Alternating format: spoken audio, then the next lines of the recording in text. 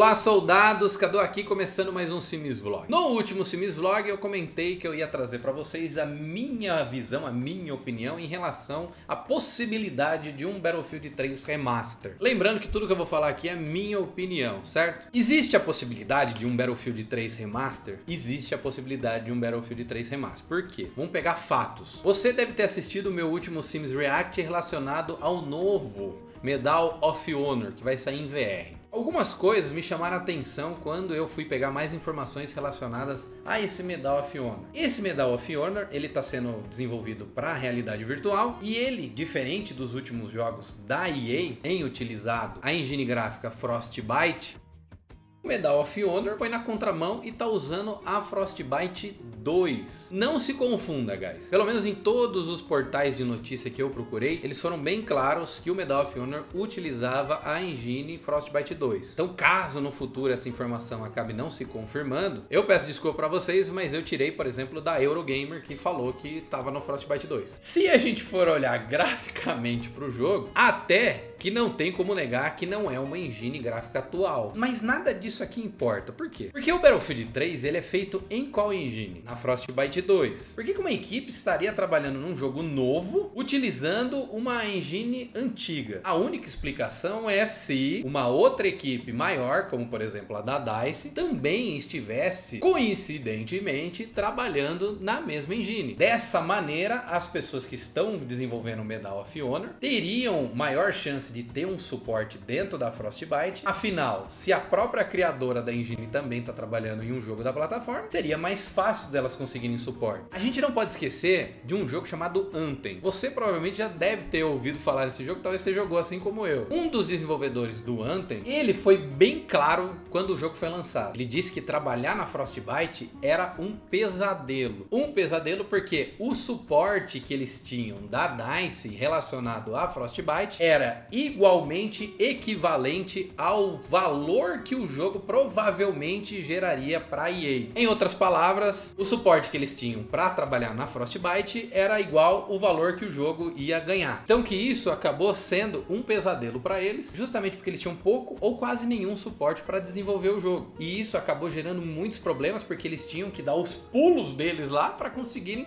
desenvolver algo dentro do negócio que não estava funcionando. E quem acompanhou o lançamento do Anthem tá lembrado que o jogo ele foi um caos. Então vamos pegar toda essa informação que a gente tem, esse bolo, vamos fazer um bolo e vamos jogar de volta para a possibilidade de um Battlefield 3 Remaster. Faria sentido um Medal of Honor na Frostbite 2, já que a DICE estaria trabalhando num possível Battlefield 3 remaster, faria sentido porque a Respawn conseguiria um suporte junto da DICE, já que elas estavam trabalhando na mesma engine. Agora do ponto de vista do Battlefield 3, faz sentido eles lançarem um Battlefield 3 remaster agora em 2020? O Battlefield 3 ele foi lançado em 2011, mas apesar dele ter sido lançado em 2011, os gráficos do Battlefield 3 eles não são ruins a ponto de a gente necessitar de uma versão remaster. Por exemplo, guys, vou colocar aí para vocês um trecho do Battlefield 3 rodando em 4K.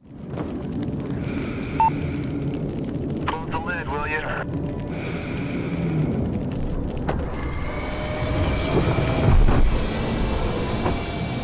4-6, you're second in line. Shark 4-6, roger.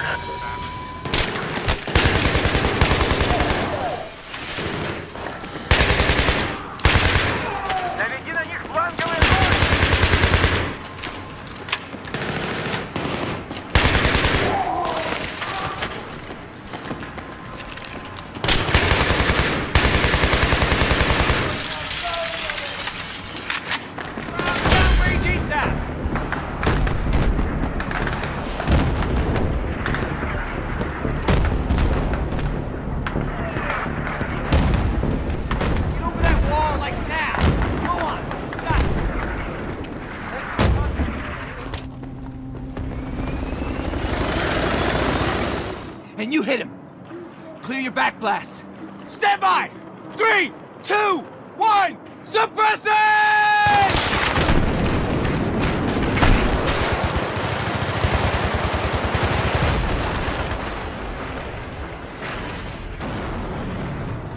Good effect on target!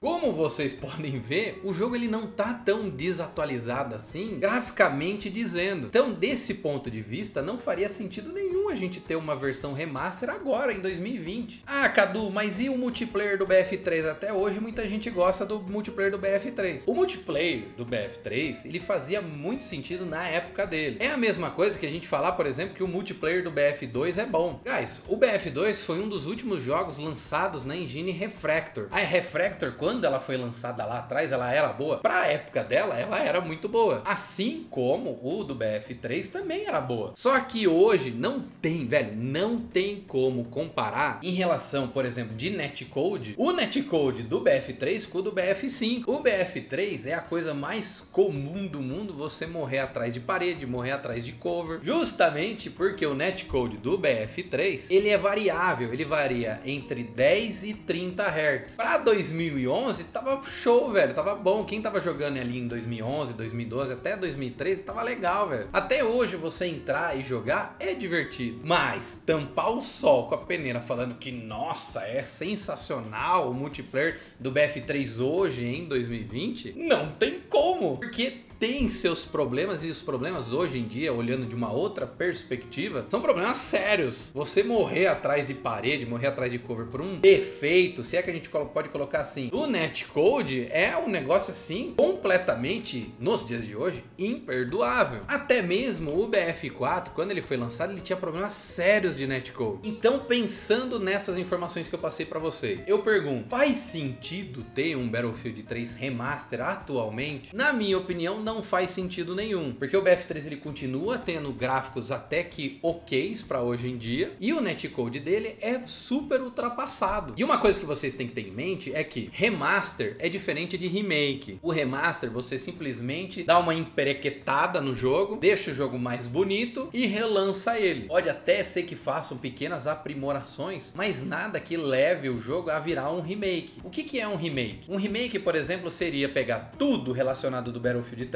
e você transplantar para a engine, por exemplo, do Battlefield 5. Então você pega toda a concepção do Battlefield 3, sejam os equipamentos, sejam a maneira que a história, por exemplo, da campanha se desenvolve, os mapas, pega todo o conceito do Battlefield 3 e transplanta ele para uma engine nova. Isso é o remake. Só que agora, do ponto de vista mercadológico e até para os investidores, não faria sentido nenhum eles lançarem, por exemplo, um Battlefield 3 remake, porque é muito mais fácil, já que eles vão fazer isso, lançar um Battlefield 6. Por que, que a EA lançaria tipo Battlefield 3 Remake, sendo que ela pode lançar um Battlefield 6? Porque já que eles vão ter todo o trabalho para refazer o jogo numa engine atual, que se lance um jogo novo, que se lance algo que possa fazer um marketing em cima para ganhar mais dinheiro. E a EA, ela é o maior exemplo de empresa que ela foca bastante na grana. Por isso que eu acho muito difícil, guys, acontecer de existir um Battlefield 3 Remaster. Pode ser que aconteça? Pode ser que aconteça. Justamente se a gente for pensar que o Medal of Honor está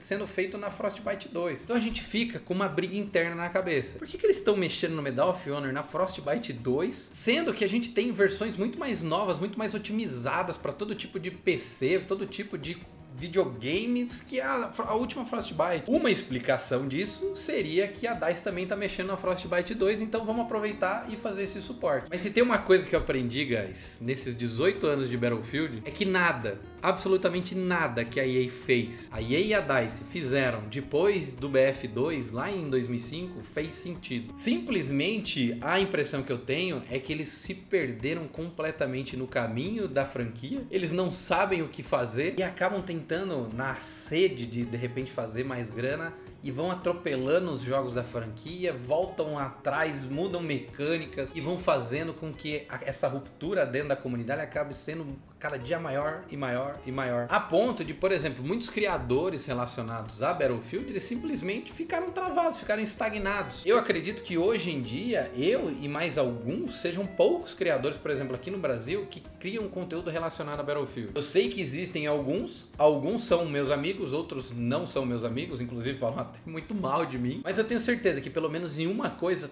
todos vão concordar, gostando de mim ou não. Hoje, você ser criador de conteúdo relacionado a Battlefield, é um atraso gigantesco. É muito mais interessante, é muito mais, se você visa um crescimento, você trazer conteúdos de outros jogos do que ficar insistindo no BF. Você não tem suporte da EA, você não tem perspectiva nenhuma de um crescimento do seu canal. Você simplesmente é como, por exemplo, você criar um canal sobre, sei lá, velho, ping-pong. Se duvidar, ping-pong tem mais público do que BF. Então fica a dica aí, tá querendo criar um canal? Cria um canal sobre ping-pong. Te garanto que vai ter mais engajamento e mais acompanhamento do que um canal de BF. E o maior exemplo disso, guys, é que basta você olhar meu canal. Olha o engajamento do meu canal. No meu canal, desde quando eu criei ele em 2005, ele sempre foi relacionado a BF. E sempre o foco dele foi BF. Nesses últimos cinco anos, eu mudei de casa três vezes. Eu comecei a namorar, eu fiquei noivo, eu fiquei noivo, é assim que fala, eu estou noivando, não sei como é que fala. Eu comprei dois cachorros, que inclusive